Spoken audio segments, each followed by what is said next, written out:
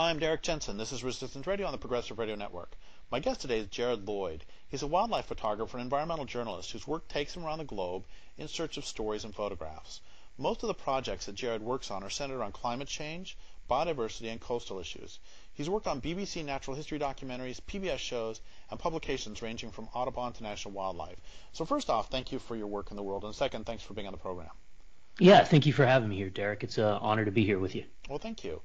Um, so let's talk about the notion of ocean wilderness. You wrote a, a, piece called Ocean Wilderness is Disappearing, which I found very moving and, and important. Uh, what is ocean wilderness? And the oceans are so big, why do we need it? Yeah, sure. I mean, that's a great question.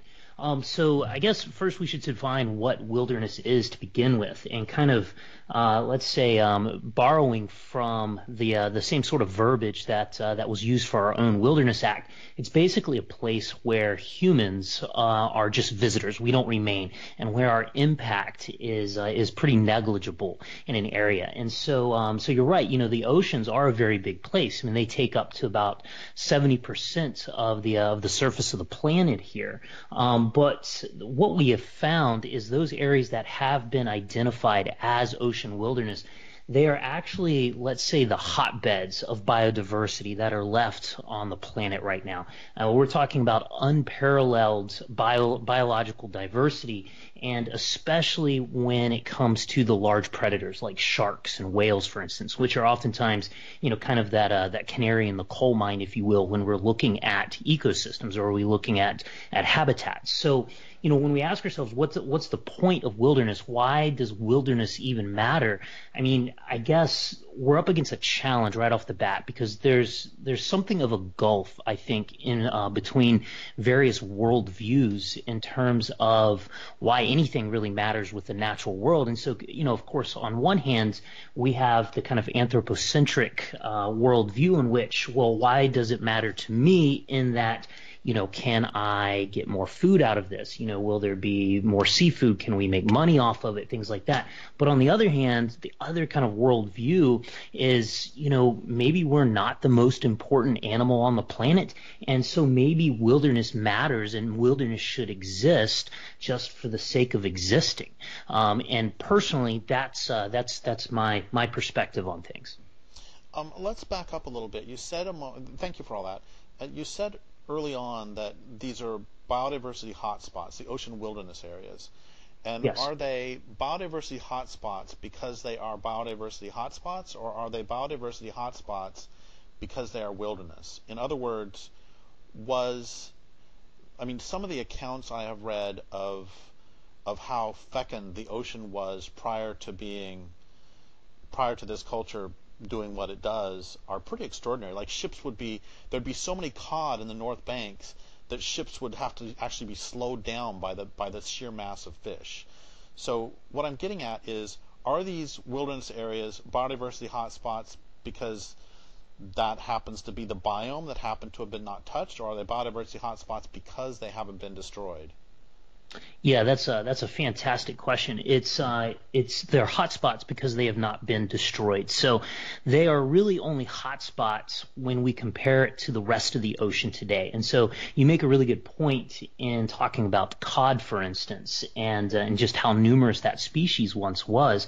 So the areas that are classified as marine wilderness today are not done so because they are protected. In fact, uh, in a, in the in the study that I was working with, um, or I was I was using to uh, you know for that for that essay that I wrote, um, you know Kendall Jones actually identified that none of the areas that are technically marine wilderness or ocean wilderness are even protected today. So um, it's they're hotspots only because they've been untouched. Um, now there are some places in there that that do fall into um, into that category, and uh, you know one specifically would be an area around the Galapagos Islands. In a study uh, done about 10 years ago um, by National Geographic, actually found this to this area to have the largest biomass of fish on the planet in this one area, and specifically again, it was um, it was really in sharks, which is that uh, which are those kind of canary in the coal mines, if you will. So um, so I think that the issue here is not so much that the rest of these areas are, you know, extraordinary places that, you know, naturally attract, you know, huge numbers of animals. It's just simply these are places that we haven't destroyed yet, that commercial fishing hasn't completely raped just yet, that we haven't, you know, um, basically moved off or killed off, you know, the, the large cetaceans with sonar testings and things along those lines. So can you can you say when you talk about ocean wilderness, first off, what percent of the ocean are we talking about that could be still considered in relatively good shape, and where are some of these places? And can you do a contrast between these places and some of the places that have been been hit? Like, is it one three times as many fish, or 50 times as many fish, or or however we determine? Yeah, sure, absolutely. So, um, so of all the ocean, right? So remember, we're talking about an area that takes up about 70% of the planet. Of all of that ocean, only 13% of that is now considered to be ocean wilderness. And within inside of that 13%, only 4%, so we're talking like, you know, a fraction of a percent now, um, has any level of protections whatsoever. Um, and so in terms of what this looks like, you know, in terms of, you know, actual numbers of fish and stuff like that, all of that still needs to be what you might call ground truth. Um, you know, this is, this is ground, a groundbreaking study that was, uh, that was published this summer and, uh, that, that actually identified this kind of 13% chunk of the ocean. Um, so there's still a lot of work that needs to be done in terms of figuring out exactly what that means. But in that study, what they were looking at was not so much the exact number of fish per area or anything like that. They were looking at those areas that were the least impacted by people. And so it just so happens that some of these areas also happen to be heavily studied places, and we know them to have significant biodiversity. And uh, and so first and foremost, kind of we need to identify where some of these places are. Um, you can uh, let it suffice to say that none of them are around North America. None of them are going to be around the coast of Europe. Um, so coastal areas, especially in the northern hemisphere, you know, where most people live uh, and most of the civilization is concentrated, uh, you know, n- um, none of those areas fall within side of this, you know, kind of designation of ocean wilderness. Okay, so wait, we're talking. Wait. Yeah, sir. Go ahead. No, no. Sorry to interrupt, but but that's especially horrifying because the coastal areas are where the most biodiversity is supposed to be generically. I yeah, mean, that's, that's right. When we had when we had the previous extinctions, every mass extinction historically has been associated with a change in in sea level, and that has to do with incredible biodiversity along the coast and the creatures who have to live, you know, at three to five meters below the gra- below the water. Suddenly they're 15 meters and they can't do it. And my point is, so if if none of these hotspots are near coasts, that's even more horrifying because oh, they're supposed to be the hotspots. Yeah, that's that's exactly right. Um, that's a, that's a very good point, Derrick. Uh, you know, it's um, it's it's pretty sad, and I think that you know in this, you know, kind of really lies a concept known as shifting baselines. You know, the coastal areas are supposed to be those extraordinarily diverse areas, especially around, you know, estuarine or estuary ecosystems, if you will. And, uh, and I think just as each kind of uh, generation of humans lives and dies, if you will, uh, we've come to accept, you know, um, a, a much more what would be the right word? Uh, just uh, a, a, much more feeble, a much more, uh, a much sadder a much sadder state of things, if you will, as uh, as what's normal. So so when we look at uh, let's take cod for instance. When we look at cod today, we've watched the Canadian cod fisheries collapse over the last uh, couple of decades, and the cod fishery in the United States is practically non-existent. Um, but we look back a few generations prior to that, and there was cod everywhere. And so you know as uh, as easy, as each generation is born into the world, we kind of just take whatever the reality is that we're born into as uh, the reality of the way the world probably has been, you know, our, you know, since the since the beginning of the planet, if you will. And it's a very dangerous place for us to be in, especially in uh, in this age of industrial uh, fishing. So I interrupted you a while ago when you were saying that the the the the wilderness areas, the 13%, are not along the shorelines of North America or Europe. And then I freaked out and interrupted you. So can you go on?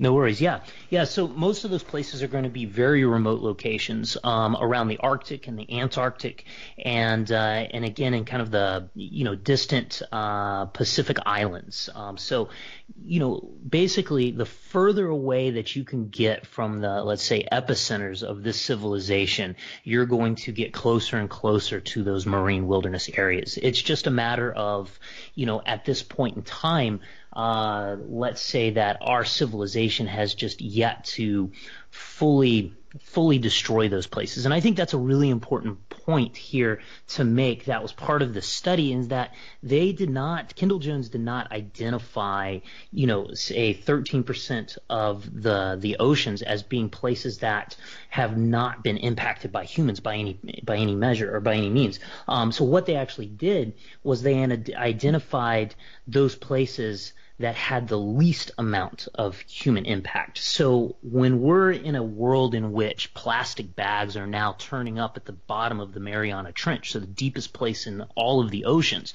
we're kind of past the point of having no impact on the oceans, if you will. And so these areas, just the farther you get from civilization, you start to get less and less and less impact. But you're never at a point where you're finding oceans or areas of oceans that are not impacted by humans and industrial civilization.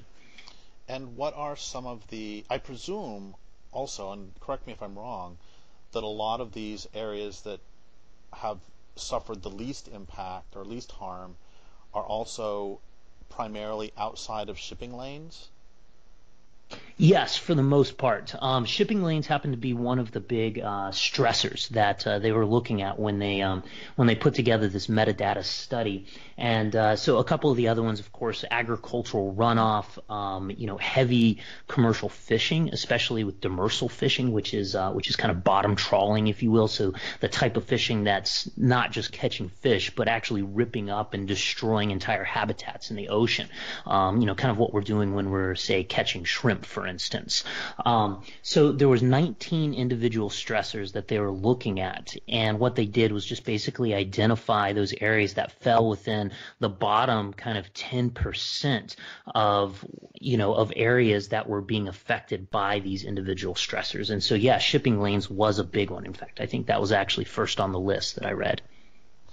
So is that is that actually suggesting that um, shipping shipping is uh, the most damage? Shipping causes more harm than, for example, fishing, or is that am I misreading?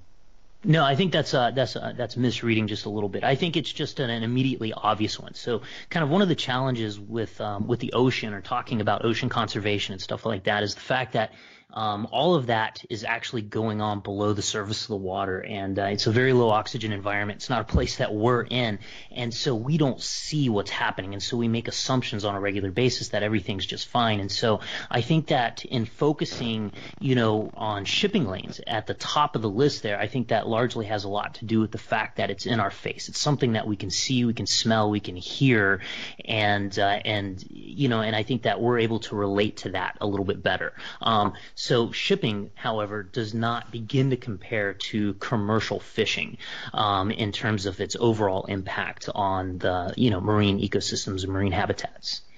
You mentioned a type of shipping. I mean, a type of fishing. I don't recognize the word, but it were, was was the word was that a way was that a different way to say bottom trawling?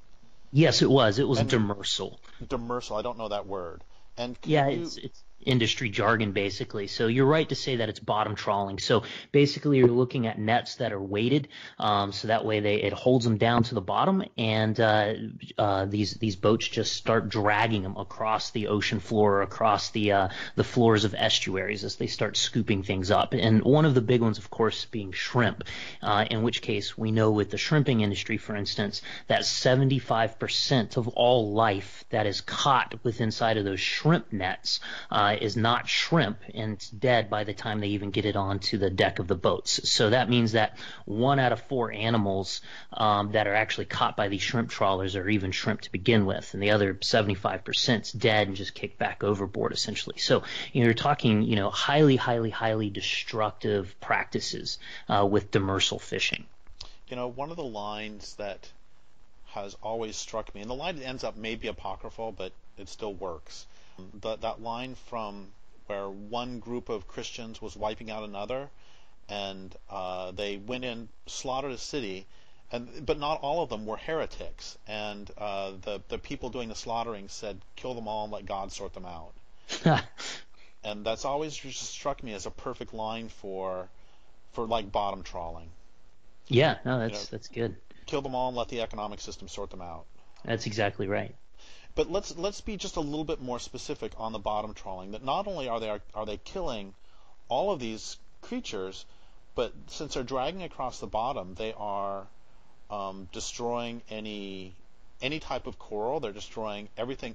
I've heard it compared to clear cutting. It's clear cutting the bottom of the ocean. Yeah, that's that's a really good way of looking at it. Um, that's exactly right. So, you know, we tend to focus a lot on coral reefs just because, uh, you know, they're beautiful. Uh, they tend to be places that people like to scuba dive and snorkel. But really, it's any hard structure bottom um, ultimately is what's drawing fish in. And uh, you know, fishermen like to say that uh, fish tend to congregate around structure, if you will. And so the majority of the oceans are actually soft bottoms. So think sand or kind of clay or mud, if you will. Um, and only a small percentage is actually hard bottom. And it happens to be those hard bottomed area areas that hold the uh, the vast majority of animals in the ocean. And these, of course, are the areas that we're targeting uh, for commercial fishing. And so when we're doing uh, when we're bottom trawling in these areas, we're ripping up that structure. We're ripping up that habitat, the very things that's kind of pulling animals into this area, and uh, and what's left is basically left to kind of you know fend for itself, or just I guess disperse and try and find other habitats to exist in, which um, are becoming fewer and far between. So you you said there was a list of 19, 19 stressors, and you don't need to have an exhaustive list, but can you go through? Um, can you just list some more of them? Like sure. We got, we got shipping, we got uh, this demersal fishing, and then plastic, and what else?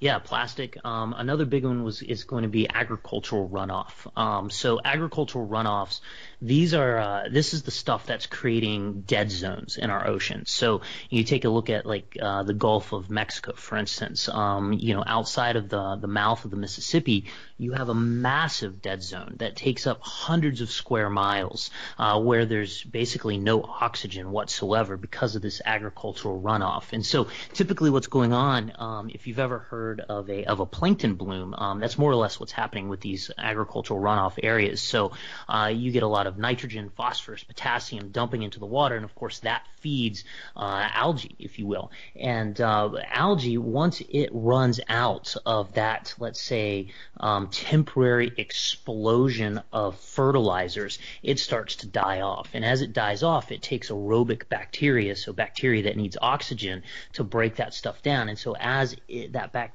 kind of takes off in population uh, to break down all of that dead algae, it depletes the water of oxygen, and so you have dead zones, and so you have no fish, even though it happens to be, or it should be, one of the most um, one of the most biologically productive areas in uh, in the Americas. We have no fish in these dead zones.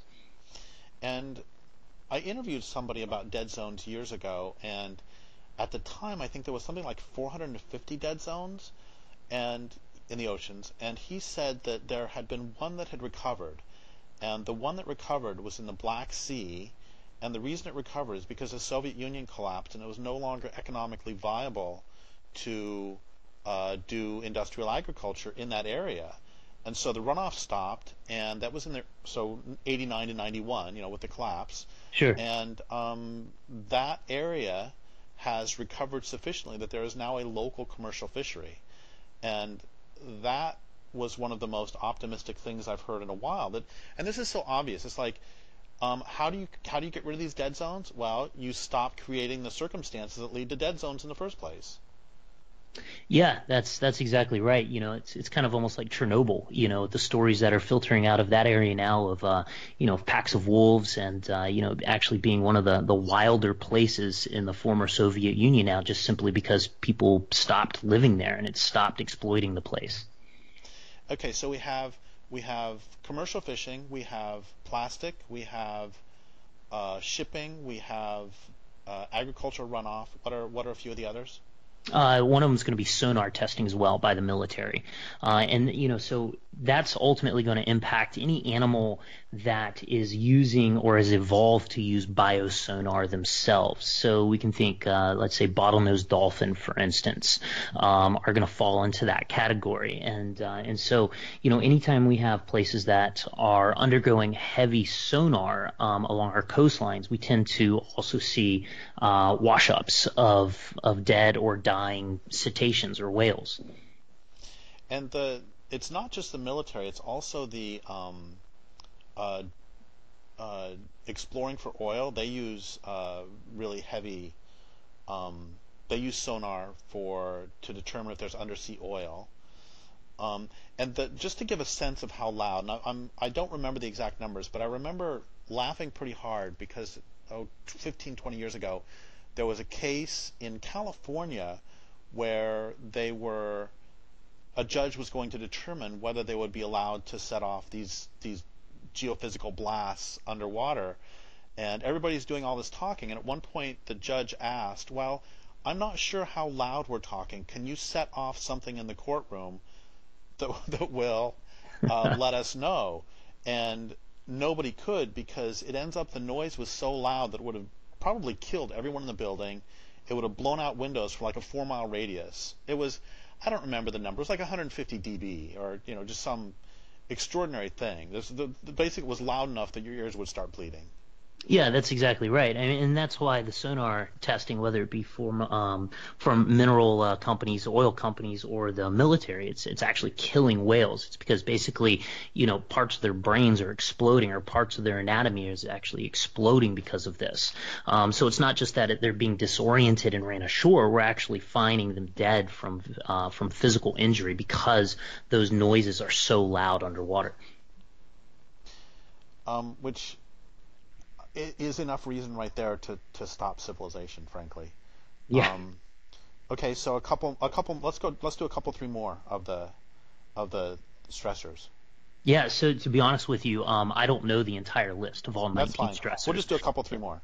Well, that, that that's that's what I've got to work with right there. Those okay. are the ones that were actually listed um, by Kendall Jones in his uh, in his paper. Okay. Um, so I want to go a slightly different direction, and let's let's pretend that there was going to be some enforcement, which we'll talk about in a moment.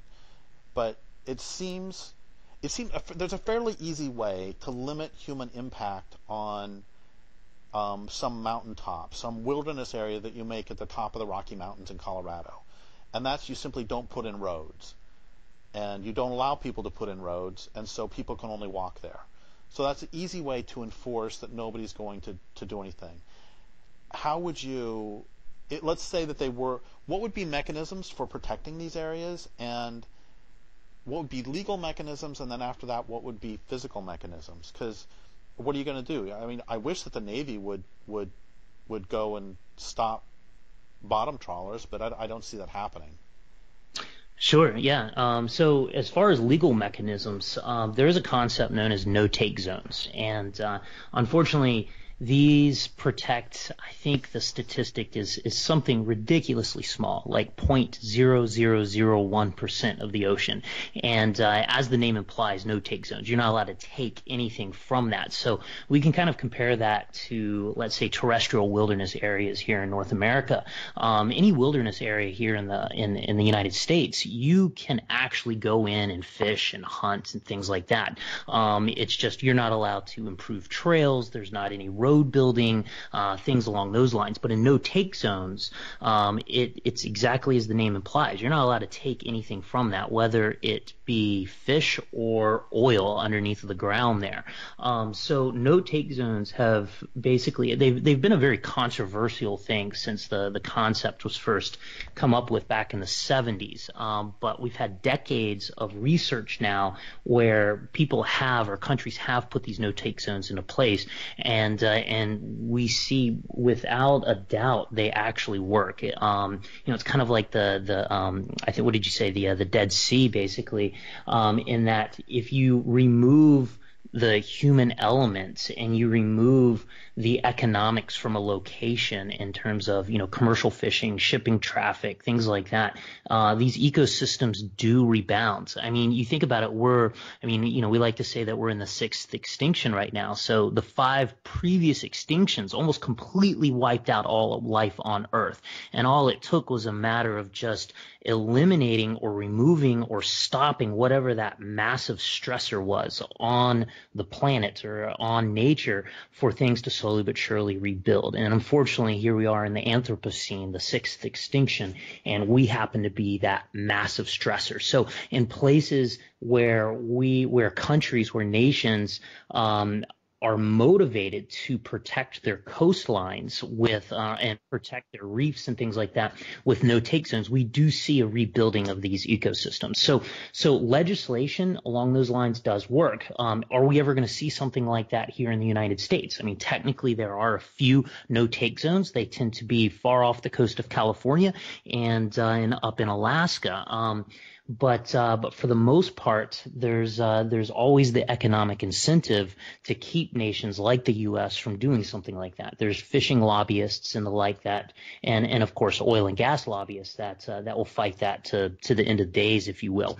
Um, but as far as actual physical protections that you can put in place, other than just legislative protections? Um, I mean, that's that's a great question, and that's one of the great challenges with all of this, is because technically speaking, all nations only own so you know x number x number of miles off their coast essentially, and so once we move, say, beyond the boundaries of U.S. waters, um, who owns that? You know, that those are international waters right there, and so ultimately it would take you know a concerted effort by the global community to do anything to protect that area. And right now, as it stands, everybody is, uh, you know, just more or less acts in their own self interest, their own you know, kind of immediate self-interests, if you will. Um, and uh, and that's one of the big challenges of protecting any species, let's say in the Atlantic basin, such as bluefin tuna. No matter, regardless of the laws that we put in place here in the United States, you still have other countries like Spain, for instance, that uh, basically thumb their nose at those laws and catch as many bluefin tuna as they want. So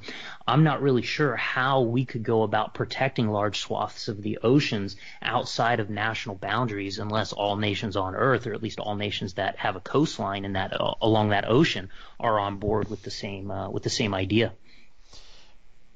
This is not a particularly this is this is not a realistic solution, but it's frankly the best use I can think of for a navy. Yeah, yeah, uh, absolutely. Um, I want to back up a second because I live near one of those uh, um, no take zones, and I can validate what you said about it being tremendously controversial. The the local fishermen fought it, fought it, fought it, fought it, and they're still fighting it. And that them fighting it has always seemed kind of very short-sighted to me because basically, in, if you want to look at this from a commercial perspective, instead of calling it a no-take zone, call it a nursery. Yeah, yeah um, that's a very good way of looking at it. Because in the long term, they're going to end up with more fish. This this will make, and once again, I care about the fish. I don't so much care about commercial commercial activities at all. But but even from that perspective, it's like I know that among the American Indians that in the in the eastern sort of central eastern part, for the most part, Kentucky was uh, preserved as a hunting ground, and and not as many people lived there as lived north and south of it because a lot of the local people, a lot of the regional people recognized that you need, and they would do this more generally, is that there were places where you couldn't fish, places where you couldn't hunt, times of year you couldn't hunt, because they knew that like I'm, among the Buffalo people, it's very very bad if you killed a pregnant female. Yeah. Um, that's just that's just basic um, taking care of your own future. But with commercial fishing, we just call it roe and make more money off of it. Right. Right. Um, but yeah, so you know that's um so in the in the kind of realms of conservation biology, there's this notion of spillover, and it's always been kind of one of the the key arguments for these things like no take zones, and uh, and you can actually trace this idea all the way back to the creation of Yellowstone National Park um, in Wyoming.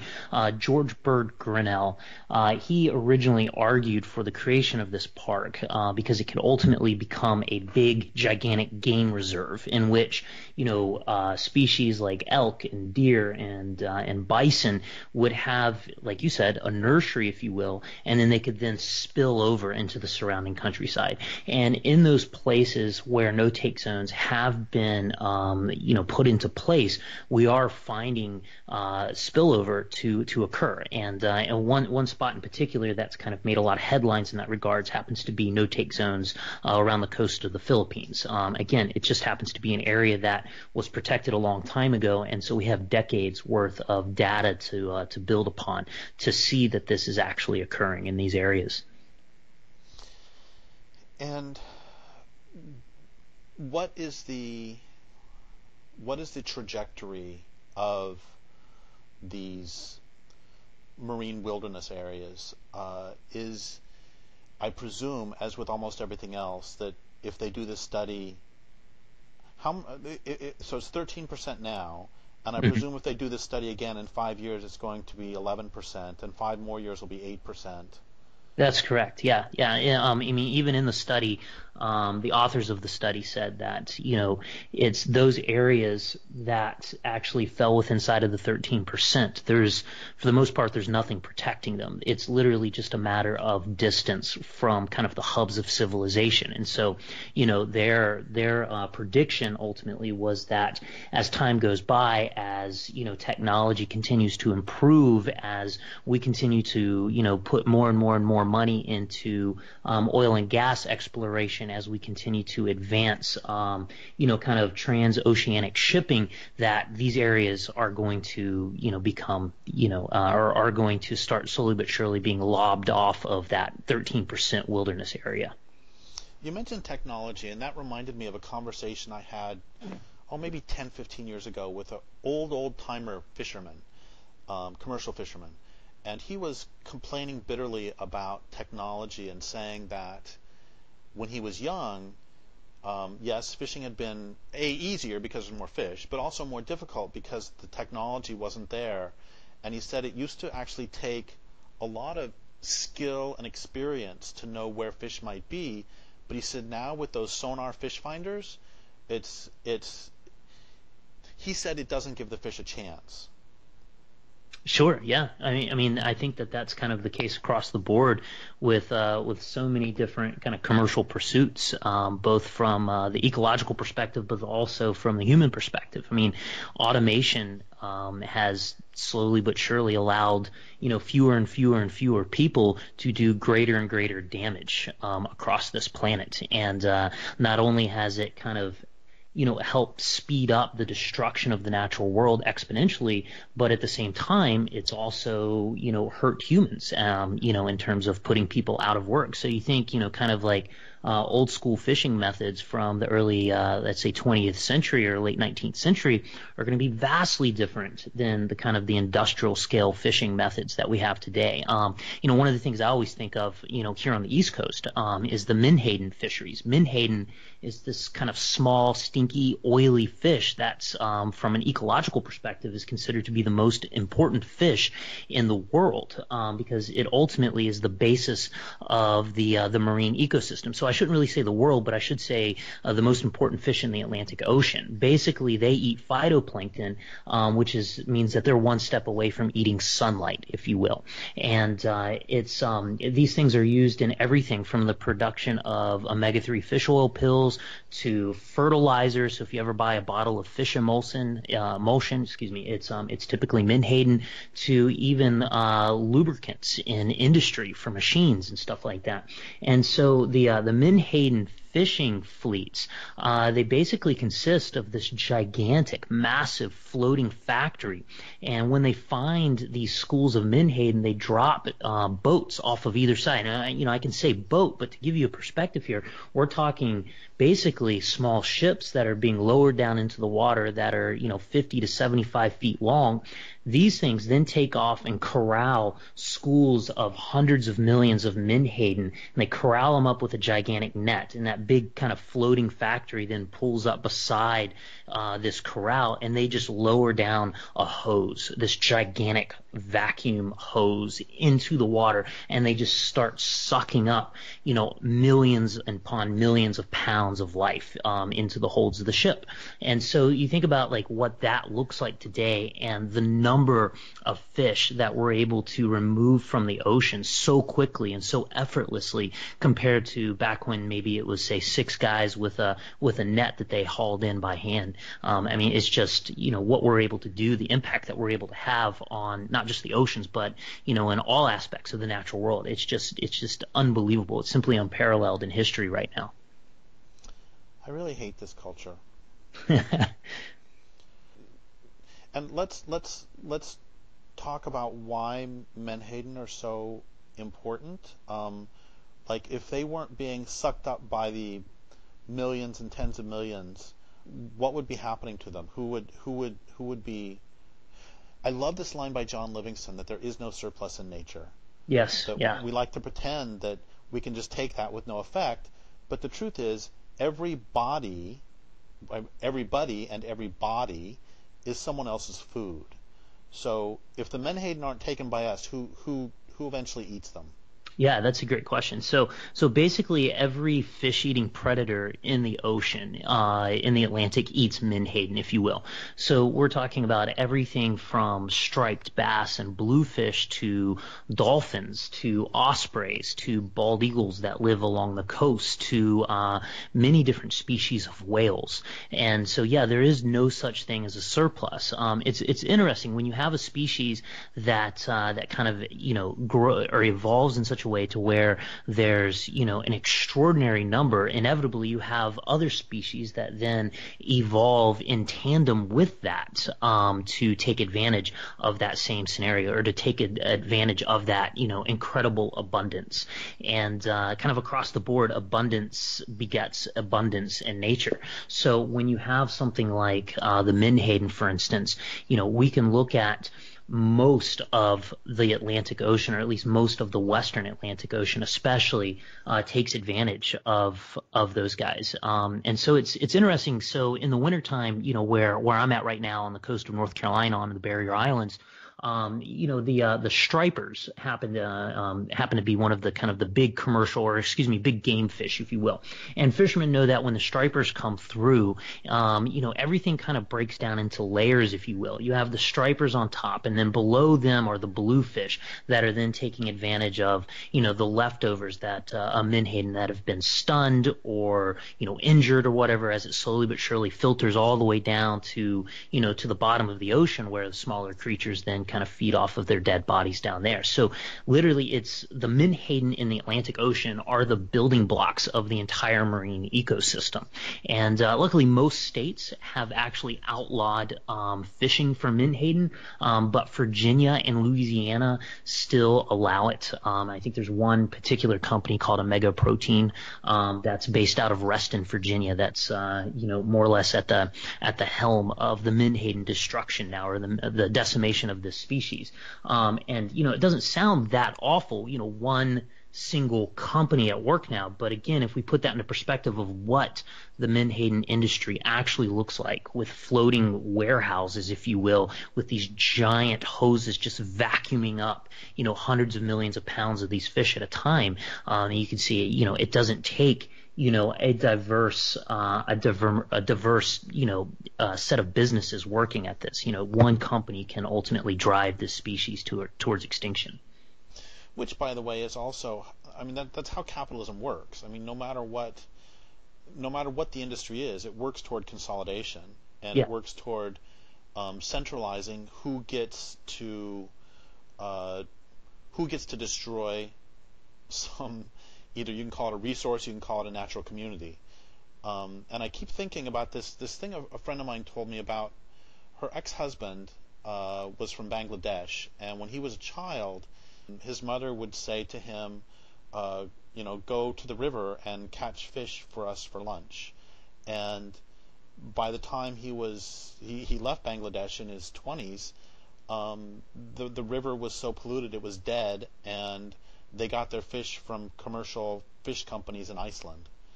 And the point being that it seems that both of us, or at least from for me, but it seems like for you too, our primary concern really is the natural world. But that doesn't alter the fact that you know we can talk about all these other creatures being able to um, eat the, the menhaden, but the truth is that that individual subsistence people could have either then caught the menhaden or their or the predators of the menhaden. So this this as you mentioned earlier, this trickles down to harming. I mean, if if the coasts are going to be destroyed, then this means that subsistence fishermen along the coast are also going to lose their livelihoods or their or their or their means of gaining subsistence. That's exactly right. Yeah, they are. Um, this this you know it's uh, it does affect you know society at large. It does affect humanity at large. And um, uh, too often we we kind of get you know stuck in the idea that you know uh, this is America and uh, we're the masters of the universe and only uh, only you know our decisions and our well being actually matter. But there's still a you know a halfway decent size of the you know of the the global population of humans that still live on a subsistence level and do not have the uh, the same sort of impact on the natural world that you know industrialized nations like we do have. And our actions here and now are ultimately affecting them down the road. And uh, and so what happens if, let's say, one day, um, you know, there is a, I don't know, a magnetic storm, a solar storm or something like that, wipes out electricity, um, wipes out, you know, civilization as we know it. You know, I mean, we realize that, you know, these big kind of events do happen on a regular basis um, from the perspective of geological time. What happens then? We've, you know, we've denuded the ecological um, or the, uh, you know, the, the the biology along our coasts. You know, we're unable to to sustain ourselves, and we slowly but surely watch as the vast majority of humanity just kind of snuffs out, if you will. So it's it's definitely bigger than just what's going on here in North America. So two things about that. One of them is that the county I live in in Northern California has a population I don't know of 20 or 30 thousand, and the Tolowa lived here sustainably for 12,500 years. Mhm. And this is this is salmon territory, and of course the salmon are completely hammered. But my point is that um, I just recently, within the past couple years, found out that the population in this particular county was like 15,000. That's how rich it was. That they could 15,000 people could basically subsist primarily on salmon, also some elk and sea fish, but I mean seafood, but um, but primarily salmon, and that's how rich it was. And now, if if civilization collapsed, um, or when civilization collapses, there's no way this place can support 15,000 people. No, absolutely not. And and then the other thing is that I mean I love the natural world and, and my work comes out of a love for nature, but honestly in many ways my my my environmentalism emerged out of a fundamental conservatism. Um, by which I mean it just even when I was a child, when I was six and seven, eight years old, it seemed really stupid to um, destroy, for example, a great run of salmon when you may need to eat them tomorrow. It just just seems remarkably stupid to me. Uh, absolutely. And, and you think about it, like um, I think that's uh, that's an interesting point you make. You know, the the population of the area that you live, you know, 20, 30,000 people, um, and historically, or let's say to the prehistorical kind of era, it was roughly the same thing. And I guess you know one of the big differences now is that you know we're uh, you know, in terms of our seafood, you know, we're shipping the vast majority of, excuse me, the vast majority of it, you know, to other countries. It's not even being consumed inside of these local communities. And so, sure, you know, um, 20 to 30,000 or 15 to 20,000, whatever the number was, maybe that was a sustainable number of people in that area. Um, but, you know, even though, um, you know, our coastlines support however many millions of people now in the United States. I mean, we're ultimately, you know, for the sake of the almighty dollar, of course, um, we've commodified nature, and now we're taking that commodity and we're trying to sell it to the rest of the world as well. So, you know, that 20, so that that 15 to 20 thousand population there in your area, um, ultimately that salmon at some point in time then came to, you know, uh, people then started trying to feed millions upon millions of people with that same number of salmon that were spawning in that area. Well, that's one of the problems is that I, I don't understand how we can still pretty much consider ourselves sentient when this is a story that we have seen so many times.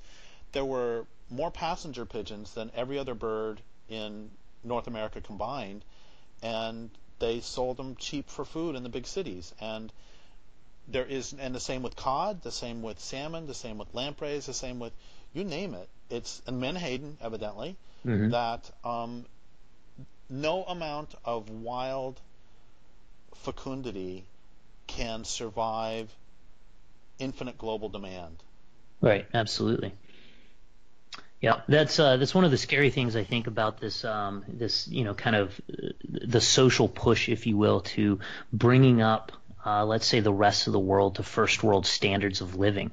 Um, you know, it, it's it's it seems cruel to say, but uh, but that's that's just a terrible idea. You know, the rest of the world should, you know, we shouldn't be living like this, let alone the rest of the world. We need, you know, I forget what the statistic is, but I think they, you know, something like we would need three additional planet Earths to be able to support our way of life here in the United States if the entire global population lived that way. I think it's like 15 or 20. I think oh, it's more yeah. than three. there you go. So we have just a couple minutes left, and I, I think you've done an absolutely wonderful job of explaining the need for for leaving some places alone in the ocean, and what you've got all these people who are going to hear this. What do you want them to do with the information that you're giving them? Yeah. Um, what do you do with the information? Um, well, you know, uh, I would like to say vote. um, not entirely sure how uh, how much that makes a difference in uh, in you know kind of the, the given the global economics of all of this.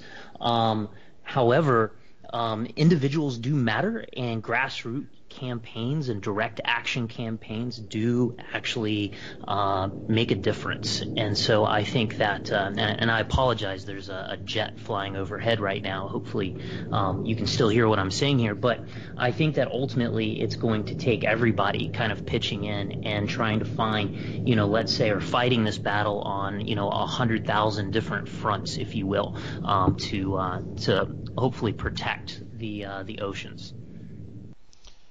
I think that that's a great point, and also I would like for listeners to um, just imagine that jet that they hear now and magnify that by what should we say, ten thousand, a hundred thousand times more loud. Uh, I was saying easily a hundred thousand times. So a hundred thousand times louder, and imagine that. Um, imagine that sound instead, and that's what you got for cetaceans right now and everybody else, frankly. I've heard about I've heard about not just cetaceans, but I've heard about fish having their swim bladders explode. Mm-hmm. Yes. Um. So. So. Thank you. Is there anything else that you've wanted to say about marine wilderness areas, or about this culture at large, or about nature, or anything else that I haven't given you the opportunity? Um, no, I think that uh, that that was a pretty thorough interview there. So I would like to thank you so much for being on the program. I'd like to thank you for your work in the world. I would like to thank listeners for listening. My guest today has been Jared Lloyd. This is Derrick Jensen for Resistance Radio on the Progressive Radio Network.